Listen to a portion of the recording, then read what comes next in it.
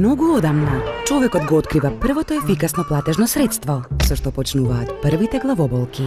Како што минуваа годините, платежното средство полека почна да се менува за сечи вкус.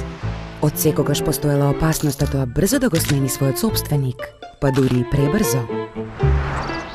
Тоа од секогаш можело лесно да ви обезбеди се, од игла до локомотива. Затоа, зошто да немате платежно средство кое ќе ве поштеди од главоболки? Времето тече. Бидете во чекор. Безготовинско плаќање за светот што се менува. Министерство за финансии.